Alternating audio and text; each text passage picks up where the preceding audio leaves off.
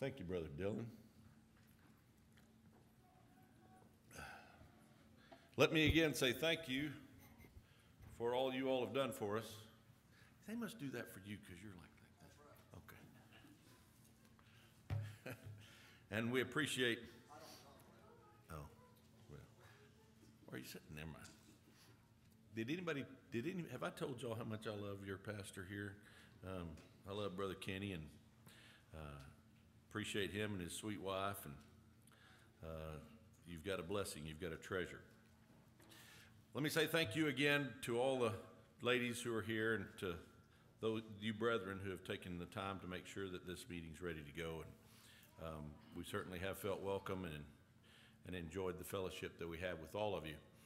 This morning, especially, this morning was um, uh, quite a treat. Got to meet up with Brother Elton at his favorite McDonald's this morning and um, got to see where he sits. And I've heard and heard and heard and heard about it, but I've never been to that particular McDonald's. So I know where to find you, you know, and I can find you whenever I know you're at the McDonald's now. So um, glad for that. But uh, being here and seeing all of you and then these old songs, um, uh, that's generally what's been on my mind um, last night, this morning, and there's some things that I hope to be able to share with you, and you'll be able to enjoy it like I have. Um, we talked last, last night a lot about the things that are going on in our country and uh, that are going on in the world and how troubling they can be.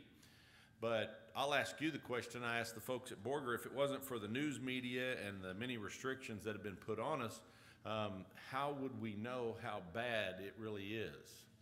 Um, I feel pretty fortunate.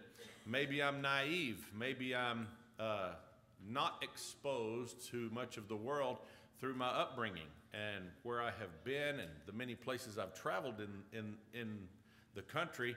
Uh, I recognize that Chicago and Dallas and Phoenix and uh, Los Angeles and all of that are wondrous places to go, but I'm glad that I got to go back to my little small town. Um, and Lubbock and Amarillo are really small towns compared to those big cities.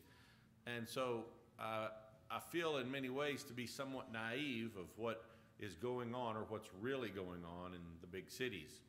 Um, and it, like I said last night, it's hard to find the truth. Also, that being said, uh, I was born at the Amarillo Air Force Base Hospital, my brother and I, and from that location to my current home is about 12 miles.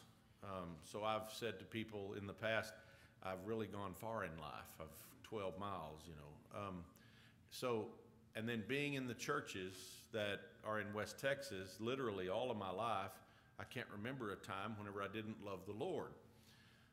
All of that being said, um, sometimes people come in and amongst us and they wonder how it is that we can be so happy whenever seemingly we have so little. And yet we have so much. We are so rich. We are abundantly blessed in the knowledge of the Lord Jesus Christ, His grace and mercy that is on us. And we see times in Scripture over and over again where the Lord's people have been led into captivity because of their own actions. And I've, I'll tell you what I told Brother Gary this morning. I'm a little fearful for the mega churches that are in our country today because today they're not able to meet. They're meeting in the parking lots or drive through parking lot get togethers or whatever. And make no mistake, the Lord's people are everywhere, okay? They're everywhere. They're places we don't even know where they are. Uh, these are our friends, these are our loved ones, these are our family members, and there may be some things that we differ on that are either uh, practice or doctrine or whatever, but they still belong to God. And I pray for them because they're missing out because their great numbers would cause them to not be able to really have worship at all. And so uh, we're very fortunate. We're very rich. We're abundantly blessed to be able to meet together and to be able to enjoy what we're enjoying today. Which leads me to my text, which is found in the Psalms. Um, in the 137th and 138th Psalm, there's a story here that's told about the children of Israel, and they are in the captivity of the Babylonians. Now, there's not much history written about the actual captivity. The place where it was is there. Uh, they, we know that it, during that time, um, it took about 70 years. They were in bondage for about 70 years. We know that. And we actually are able to, I'll say, discern from the scriptures because things that are written to us up to the captivity are written in the books, books of Ezra, Nehemiah, uh, Esther. We read about what they were going through and how, in many times uh, that the story is told, they seem to be down, uh, discouraged, they seem to be uh, depressed, they seem to be worried about their circumstances and seemingly can't do anything about it.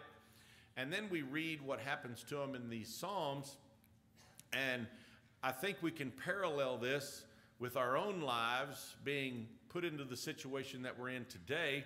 Uh, I think all of us in some way have been affected emotionally or psychologically or physically about uh, this country and how things have changed so dramatically, especially over the last few months. But really, the last 15, 20 years has been somewhat interesting uh, and sometimes difficult to understand why. And yet, we see the Lord's people who are instructed over and over again, and I'll get to some of that on what they should do, and yet they refuse to do it, and then they wonder, why me? Why is this happening to us? But here in the 137th Psalm, I want you to see something that to me is one of those stories that uh, I think it's a great way of reflecting on our beliefs. And you've already made mention of song, you've already talked about that. Uh, we've had a wonderful song service.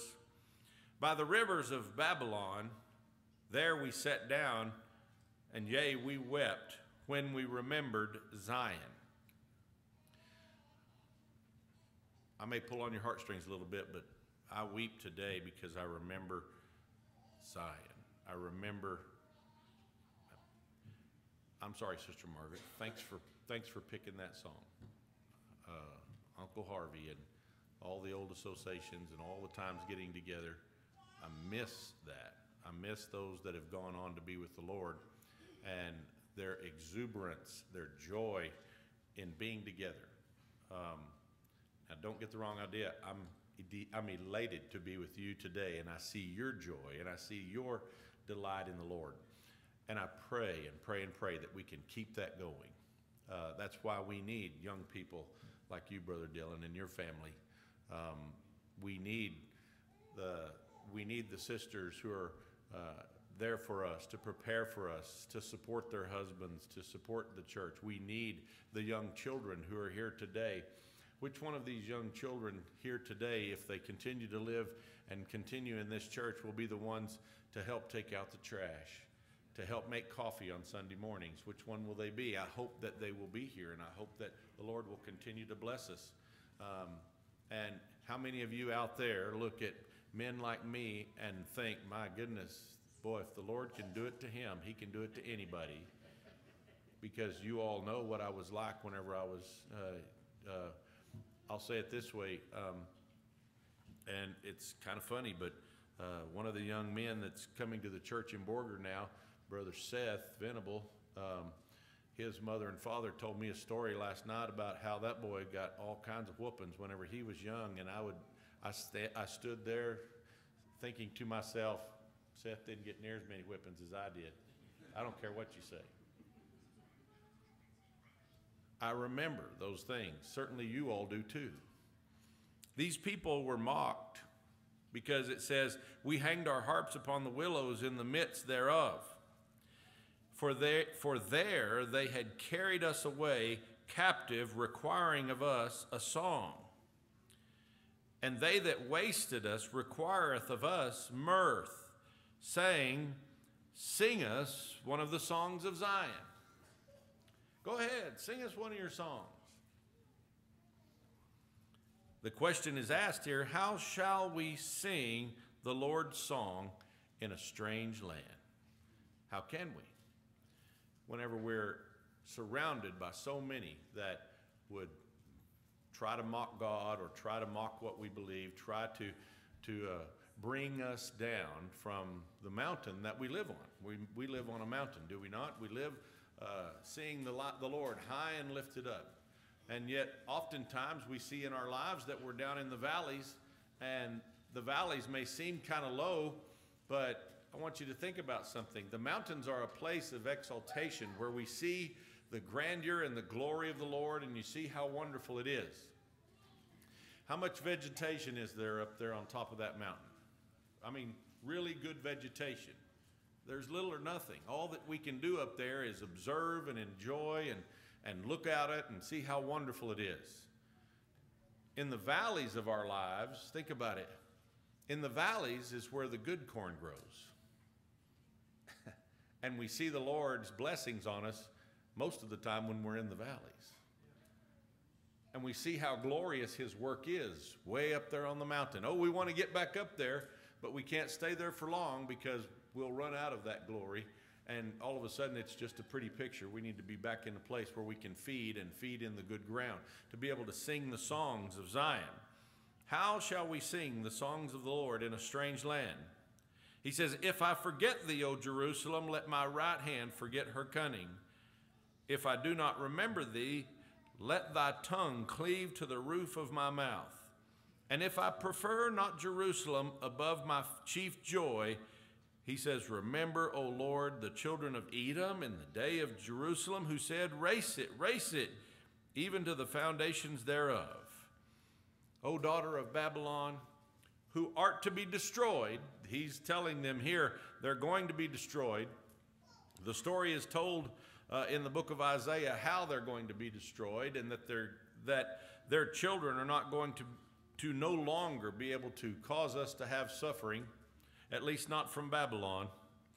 He says, O daughter of Babylon, who art to be destroyed, happy shall he be that rewardeth thee as thou hast served us. Happy shall he be that taketh and dasheth thy little ones against the stones. Whenever we're no longer subject to the, the perils of that type of persecution, that type of bondage. Now, of course, in many ways, he's speaking of a time for us whenever the Lord's going to come and take us home. and maybe today is the day. I mean, it'd be okay, Brother Dylan, if we didn't have your ordination if the Lord came and got us right now, wouldn't it? I mean, that'd be all right. We'll still go through with it if he doesn't if he doesn't come. We're going to do what we're supposed to do. But if he came right now, would that be all right? Or would you have to, do you feel like you need to give him permission? Uh, he doesn't need my permission. There's nothing in this world that's ever going to be able to compare to the glory that's going to be revealed. Nothing. And I wish people could get that into their heads. Oh, but I've got so many great goals that I want to, a, a, a that I really, really am looking forward to accomplishing. And as older people, we're getting to the point where we've got bucket lists, you know yeah, I still want to see the seven wonders of the world, but I don't think it's going to happen. But it's okay if the Lord comes, I won't have to worry about it anymore. Because nothing here is going to be as wonderful as that that is to come. Now, he says to us here in the 38th Psalm something else that's very special. He says, I will praise thee with my whole heart before the gods, little g, will I sing praise unto thee. I will worship toward thy holy temple and praise thy name for thy loving kindness and for thy truth, for thou hast magnified thy word above all thy name. Magnified thy word above all thy name. And as much as we love and care and appreciate one another, do you know that eventually, if we live long enough, will forget one another? I mean, there are people that are in my life that are family. And what's Connie's little girl's name? And she's a cousin of mine, I can't remember. I don't know. But in statements like this, we recognize that the Lord Himself, the Father, set His Son up so that His name would never be forgotten. You realize that? We may forget one another, but we will never forget the name Jesus Christ. We will never forget Christ the Lord. That's how great an impact he's had on humankind, the world, and especially his people's knowledge of him. We'll never forget the name Jesus Christ. And whenever we know, we know this for a fact, whenever we have uh, our family members and friends who have developed dementia and Alzheimer's and those types of things, they might not be able to speak to you, but all you got to do is start singing the songs of Zion, and all of a sudden they can sing all the words. They know the words. Where did that come from? It didn't come from sitting in the pews for 40 years. It came from the Lord writing those into their heart and for them knowing who the Lord is. That's what it is. That's where it comes from. And he says, All the kings of the earth shall praise thee, O Lord, when they hear the words of thy mouth. Yea, they shall sing in the ways of the Lord, for great is the glory of the Lord. He says, Though the Lord be high, yet hath he respect unto the lowly, but the proud he knoweth afar off. Which brings me to the other part of this story. Afar off. I've spent quite a bit of time studying the book of Samuel in recent months, and uh, the book of Samuel has a lot of interesting stories in it. But again, we're back to the same thing. A similar story is told in Samuel as Samuel is what I told last night. God's people rise up and are blessed, see those blessings, take those blessings for granted, and then turn their backs on what the Lord has told them to do, and then the Lord suffers it. You know, it, people say, I can't believe that the Lord would allow such things to happen to such good people. and my friend David Montgomery said to me in the church at Borger a couple of years ago, he said, I, I had a conversation with a lady about that, and she was pretty upset whenever she heard my answer. And he said, There are no good people. There are no good people. The Lord suffers it to be so. Do you think whenever we're suffering, the Lord's sitting up there going, I told you that. I told you not to do that. No, he's not doing it. He's not at all happy that he has to do that. Were you happy at all whenever you had to punish your children? Were you happy when you punished Seth? No, I wasn't. Since he's not here, you have to tell him I was picking on him. We're not happy about that. The Lord's not happy about that. But yet, it, it, we need to be taught a lesson. We have to be taught a lesson. And we have to learn these lessons over and over and over again. And I suspect we'll continue to learn these lessons over and over and over again until the Lord comes to take us home.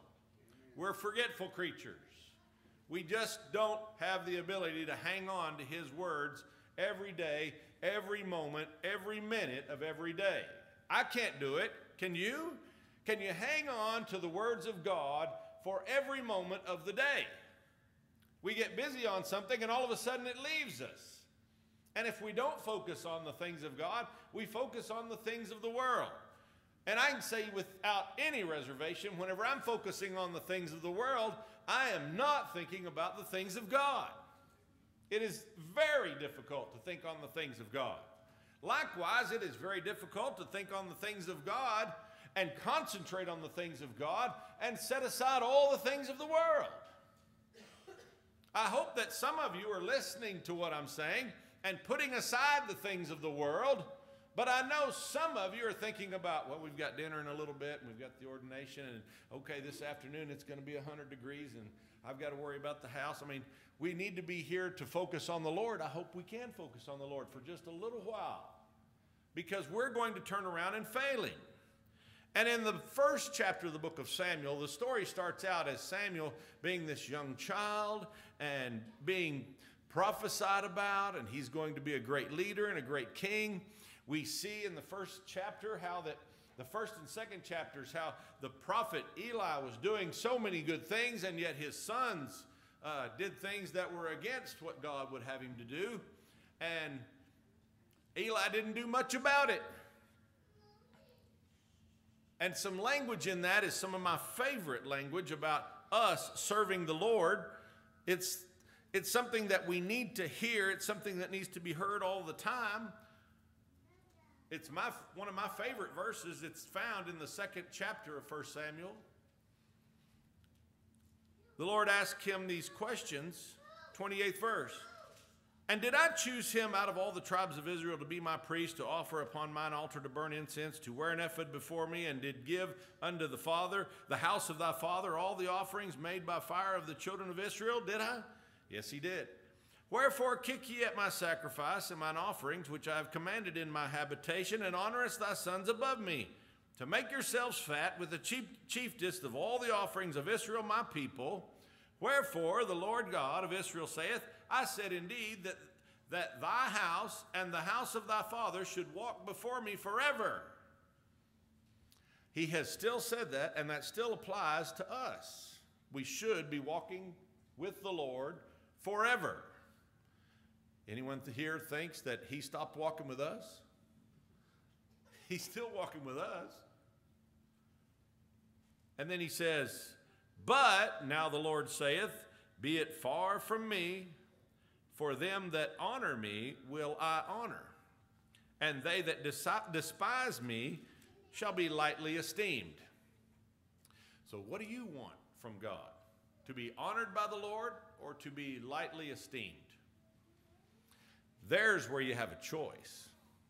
We talked about a little bit about free will last night, but I'm telling you, that's where you have some choice. Uh, free will will only take you so far, and here he's given us example after example of how we should be honoring the Lord and doing the things that he has told us to do. And by doing that, he will honor us. I would love to have the honor of the Lord put on us, put on his church. And she, and she is honored of the Lord over and over again. We have been honored over the years, over the centuries now. We've been in, we've been in existence for, for centuries. We can trace the church all the way back to Christ and John the Baptist at, on the River Jordan. We know her history. We know she suffered some, some many tribulations, but she's also enjoyed some many, many glorious, wonderful things. And she will again. But you and I have got some work to do, do we not? I know that there's somebody that mows the yard at the church. I don't know who he is, but I'm glad he's doing it. What happens if he's gone? I know that there's some preacher there who's studying the Word. Sometimes we get to hear it. Sometimes, well, have you ever had one of those days, Brother Kenny, where you didn't think that you preached a lick? I've felt that. You felt that before? Are we supposed to just give up or do we keep trying? Got to keep trying. Got to keep going. That's very important. This is what we're seeing in the scriptures. These are some of the landmarks that we enjoy in the church hearing and seeing these things, hearing them over and over again. And in the uh, seventh chapter of this book, the story that's being told here is whenever Israel was blessed to defeat the Philistines. You recall the Philistines beat them, took the ark. They took the ark of the Lord. Well, that didn't work out too well for the Philistines. First off, they weren't supposed to have it, and they weren't able to keep it very long and all manner of bad things happened to them whenever they did keep it. That should be a lesson to us. If we're not doing what we're supposed to be doing, there's some things that are going to happen that aren't going to be all that good. And we see in the seventh chapter, and we start about the uh, eighth verse, it says, And the children of Israel said to Samuel, Cease not to cry unto the Lord our God for us, that he will save us out of the hand of the Philistines. So they're asking the minister to pray for them. I get that. Do you, do you brethren get that? People call you up and say, Pray for us. And make no mistake, child of God, we are happy to stop right there and pray. And pray and pray if the effectual, fervent prayer as best we can that the Lord would bless you in whatever needs you have. But we are no closer to God than you are and you could and your prayers can go up from where you are at if you want others to pray for you that's great because many prayers i mean there's times whenever we're called on and the, the churches are called on to pray the elders are called in to pray and we ought to pray what should we be praying for today in 2020 got a lot of good questions on that well should we be praying that the the the virus COVID 19 just go away? Well, we can pray that. Can we? What about our economy? Do we need to pray about that? What about our enemies that are foreign and domestic. What about, what do we need to pray for? Well, I think the best thing for us to pray for is what the Lord has said is that we ought to pray, Father, Lord, thy will be done. And then you and I continue to do what the Lord would have us to do. Now, one of my the landmarks in my life, and I hope it's the landmark in your life, is the church. His bride. A place where we get to come together, a few of his saints, to worship and to sing his songs, sing those songs of Zion. And, though, and we, we're not hanging our harps in the willows here, we're singing. When we get together and we sing, do you sing from the heart? Or do you sing from the book? Or do you sing just to sing along? If you're not singing to the Lord, you're not singing the way you ought to be singing. And who cares if you're on key? Who cares if you miss, the, miss a word or two? If you're singing to the Lord, He hears it, it's perfect, it's on key, and He loves every note that comes out of your mouth if you're singing unto the Lord. This is one of the great landmarks of this church. And we read how that Samuel offered a burnt offering. He took a sucking lamb and offered it for a burnt offering, holy unto the Lord. And Samuel cried unto the Lord for Israel, and the Lord heard him. And as Samuel was offering up the burnt offering, the Philistines drew near to battle against Israel. But the Lord thundered, thundered with a great thunder on that day upon the Philistines and discomfited them, and they were smitten before Israel. And all the men of Israel went out of Mizpeh and pursued the Philistines and smote them until they came to Bethcar. Then Samuel took a stone and set it between Mizpeh and Shin and called the name of it Ebenezer saying, Hitherto hath the Lord helped us. That's where the songwriter gets that, that word, that here I raise my Ebenezer. What is your Ebenezer? We all have one. My Ebenezer is that the Lord has provided for us a place of worship whenever we can go, when we want to go, however we want to go, and we don't have to be, worry about being hindered by anyone. We can go as the Lord sees fit. We can go as we are called. We should be able to go. That's what, uh, that's what the brethren that wrote about this were concerned about doing. In many places, we see how Paul and Timothy and others were imprisoned and, and beaten with many stripes because there were those that were out there who would have them not preach these things, not sing these songs. I got news for you. The scriptures say there is nothing new under the sun. There are people still out there in the world today, the world's a big place, who do not want you to sing these songs, who do not want you to worship the Lord God Almighty, who do not want you to be a part of fellowship and worship. There are people out there. We have seen it. What are we going to do? I'm going to raise my Ebenezer. My Ebenezer is, is that the Lord has called us to preach and to teach and to do the things that He would have us to do. Why? Because I don't like the consequences of, that I see in Scripture of not doing what the Lord has told us to do. The examples are given. Whenever I was a younger man in my ministry, I used to think that this book was about 50 50 on salvation and that type of thing, and then the instruction and far, as far as the guide in life. And the more I studied it, the more I read it, the more I thought, well, it's probably about 70 30 on the guide of life. And now I'm convinced it's about 95 5. It's a guide about how to live our lives and the examples given of what happened to those who didn't follow what the Lord had told them to do. I think most of the Bible is talking about doing that. And all through it is riddled story after story that are examples of how God Himself sent His Son. His name is Jesus, and He has saved His people from their sins. And you can find it all through the scriptures. Here we see that Samuel has taken a stone and called it Ebenezer, and, the, and that Ebenezer was that the Lord has helped us the Lord has helped us, has helped the church all down through time. And I don't think there's anybody here that would argue with me. I believe He's going to continue to help us until He sends His Son to come and get us. He's not going to stop helping us, Brother Don. He's always going to be there for us whenever we need Him. But there's still work to do. How many times do we see in Scripture where the children of Israel went into battle and the Scripture says that the Lord gave them the victory? But did He fight the battle for them? Or did they have to fight it? There's work for us to do. People say, oh, the old Baptists, they don't believe in works at all. and I would say, you know, you're just as exactly backwards on that as you possibly can be. I believe in good works. I believe in doing all of these good works. And I think that we ought to do good works all the days of our lives. And I think it's important for us to realize that these works need to be done. But we're not doing good works in order to squeeze some blessing out of the Lord. We're not doing good works so that we might have a hope someday and maybe one day, maybe something, maybe good will happen to us. I'm doing all of these good works because the Lord has done all these things already for us. Always doing good things for us. Always putting us on the path that we need to be on.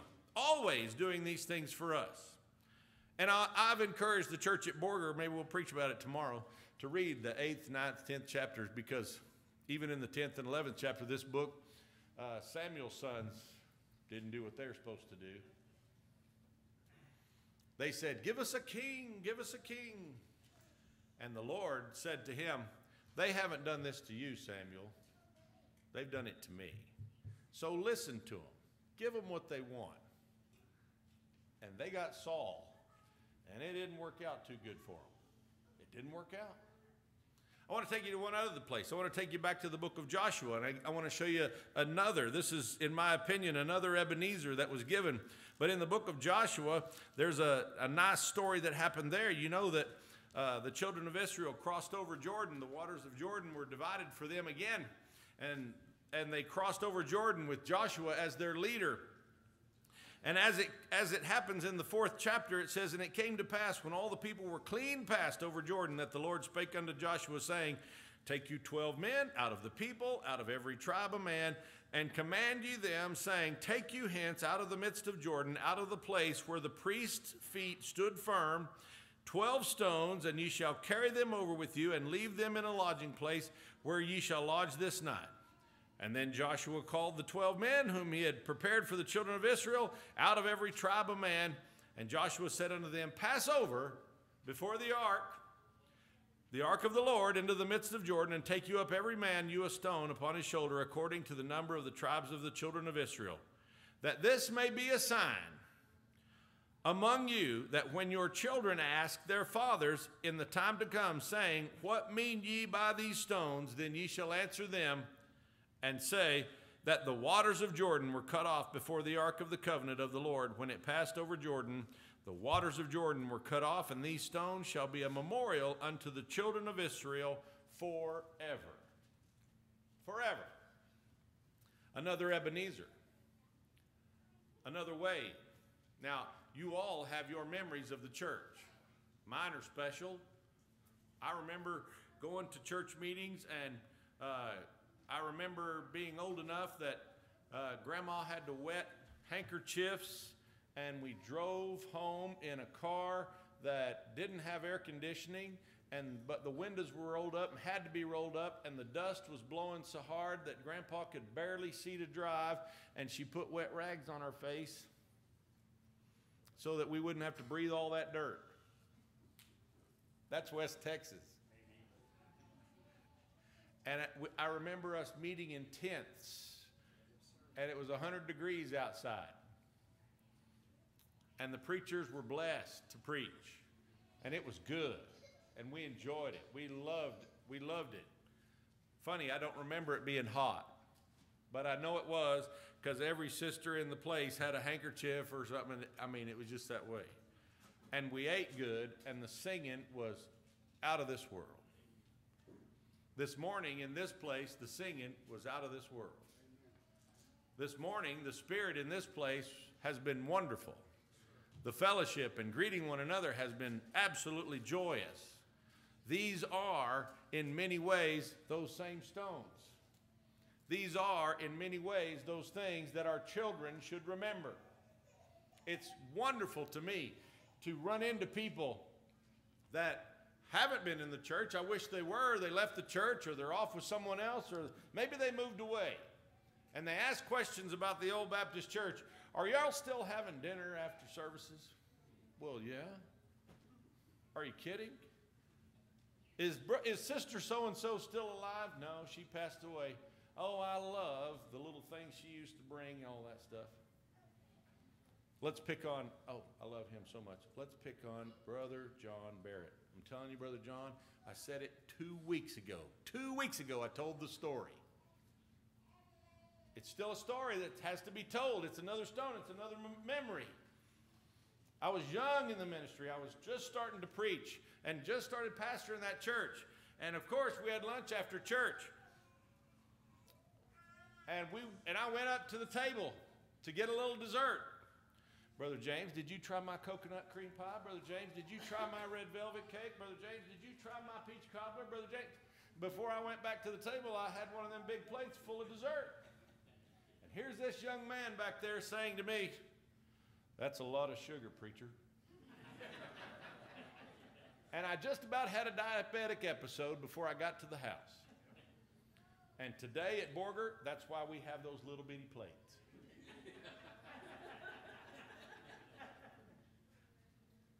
These are stones. These are memories. These are wonderful memories.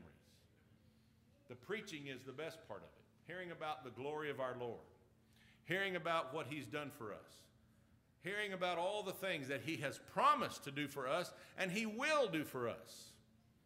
And the greatest promise is He's coming back. One of these days, He's coming to get us. I can't wait till the Father finally says to him, Son, Go get my children. And he's going to go get every one of them. Every one of his children. Not one will be spared, and not one will be lost. He's coming back.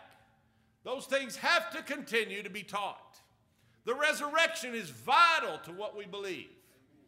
I believe that we're going to be brought back to life if we go into the grave. I believe that my Savior was put into that grave and stayed in that grave three days and three nights. I believe it. I don't have one bit of forensic proof, but I believe it that it happened. I believe that after he was resurrected, many of the saints came out of the graves. I believe from the teachings of the Scripture and from the evidence I see in the Scripture and the many stories that I can find in secular history, those that came out of the grave were those 144,000 that are talked about. And I believe that there are two other, men, two other men that were translated out of this lifetime and were put into heaven in an immortal glory. And I believe right now there are 144,002 that are in heaven, body, soul, and spirit. Christ is body, soul, and spirit, but He's the Word, the living Word. I believe it. I have no forensic evidence whatsoever, but I believe it based on His Word. This is part of that Ebenezer. This is part of those 12 stones. This is what we need to be teaching our children. This is how our children need to be brought up to understand and to know that He is God and beside Him there is none other. And no other man is going to be able to get us to heaven. It's only through Christ, only by his work, and only by what he, the Father, and the Holy Spirit did. Many of those things before the foundation of this world, before anything was ever, ever created. There was no matter, for those of you who are scientific in nature and mind, matter, antimatter, gravity, laws of nature, all of that. None of it existed.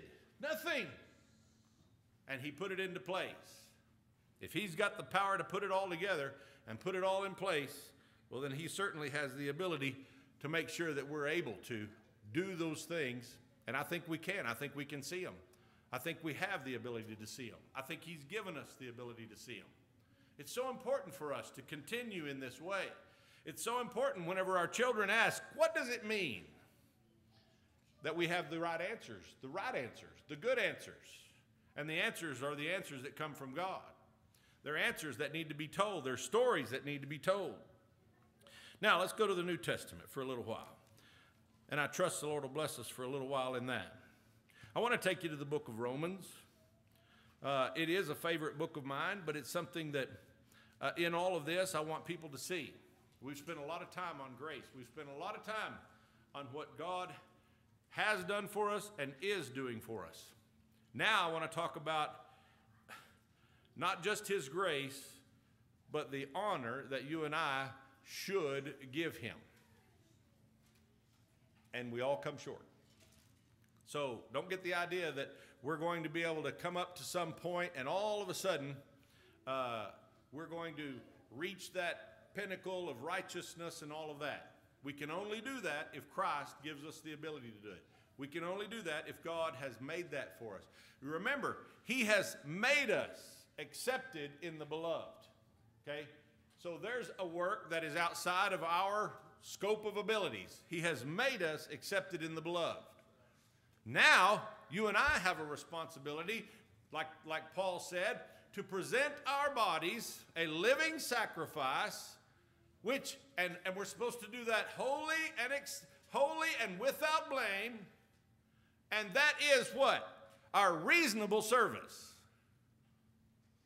I liken that phrase as do you have friends and neighbors who are willing to do something for you?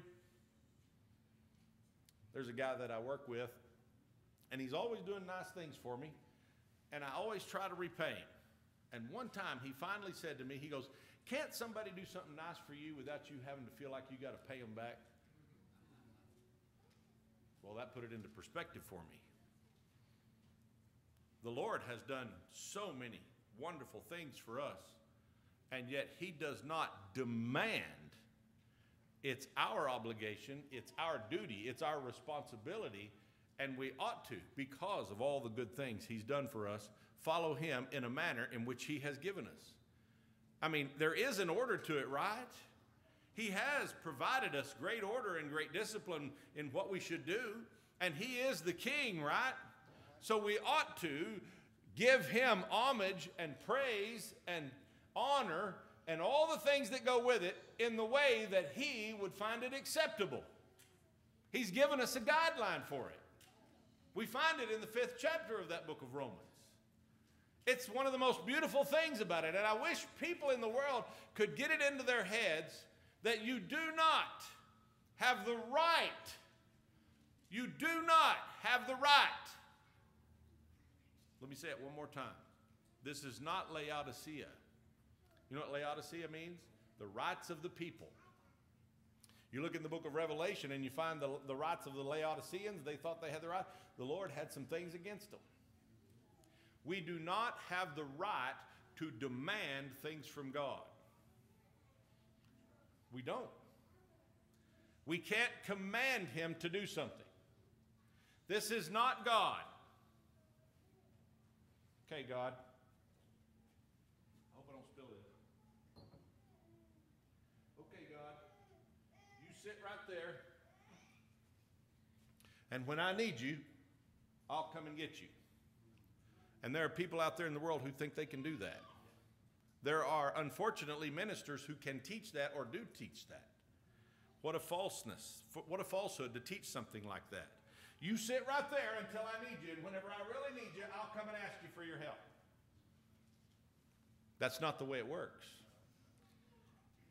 It says in the fifth chapter of the book of Romans, therefore, being justified by faith, we have peace with God. Being justified by faith. What does that mean? being justified by faith. I think he's talking about Christ.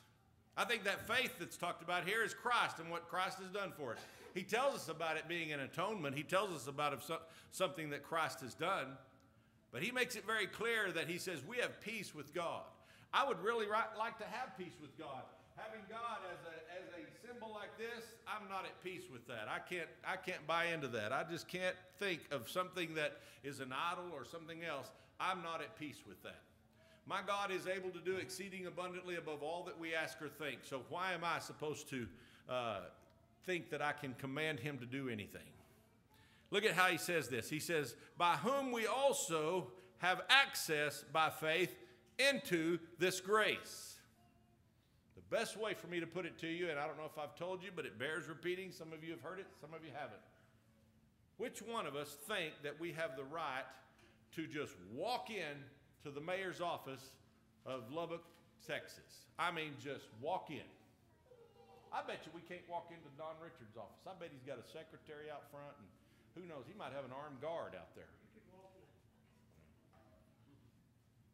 Which one of us think that we can just walk right into the governor's office, into the governor's mansion? I mean, Greg, I got to talk to you about some things. I mean, just walk right in. You have to make an appointment, I'm sure. Which one of us thinks that we can walk into President Trump's office?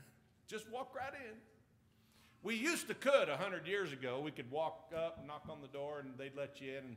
And, you might get to talk to the president 100 years ago. But today, he's behind an iron fence and all that other stuff, and people on the roof and everything else. You're not getting in that place unless you've been invited to come in and you are escorted in. And yet, in the religious world, people think that they have the ability to demand things from God.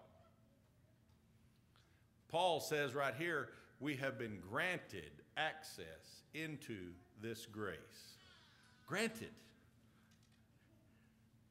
And not only so, but we glory in tribulations. I got a lot of friends out there in the world who cannot understand that verse. Do you understand it? I understand it. We glory in tribulations. We've got, I would be willing to say, and God bless her heart, uh, Sister Venable, she's fallen down. She won't want, she doesn't want to go to the doctor. And we pray that she'll come out of it. And if she does, a few days from now, she'll say, Yeah, the Lord took care of me in that. We glory in tribulations. And not, and he says, knowing that tribulation worketh patience, and patience experience, and experience hope. And hope maketh not ashamed, because the love of God is shed abroad in our hearts by the Holy Ghost, which is given unto us. Given. We didn't ask for it, it's given unto us, imputed unto us. For when we were yet without strength in due time, Christ died for the ungodly and scarcely for a righteous man will one die. Yet peradventure for a good man some would even dare to die. But God commendeth his love toward us in that while we were yet sinners, Christ died for us. Much more then, being now justified by his blood, we shall be saved from wrath through him. And if, when we were enemies, we were reconciled to God by the death of his Son, much more now, much more being reconciled, we shall be saved by his life.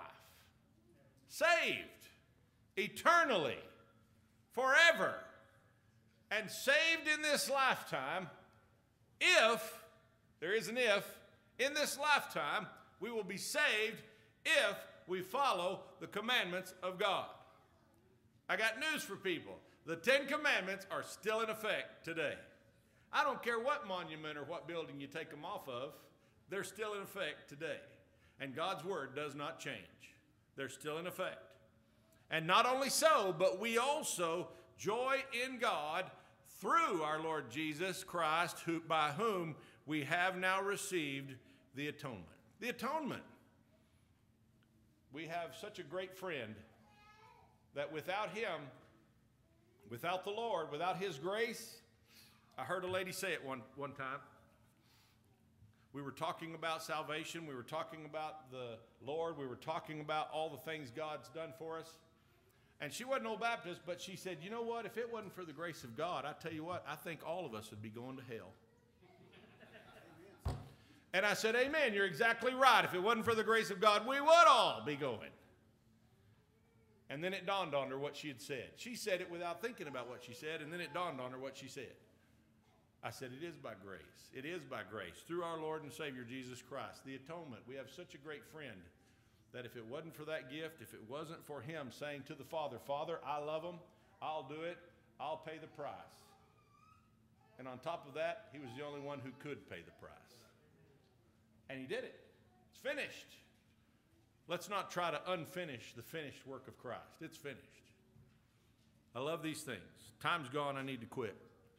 But I hope you know that as the Lord continues to bless his people in this world and continues to bless us despite despite our sinfulness, our unwillingness to to to be faithful, we do have that in our nature. It's part of us. It's a it's an inner fight that we all have to fight. He has promised us that one of these days he's going to come and take us home. I hope you look for him every single day. Every day. Look for him every day because he's coming. He's coming. Be encouraged. Encourage one another. He's coming. And until then, we're supposed to occupy and take care of his house, take care of these things. Raise your Ebenezer. Here's where it is it's in the church, it's amongst his people. May these things be a blessing to you in the days to come.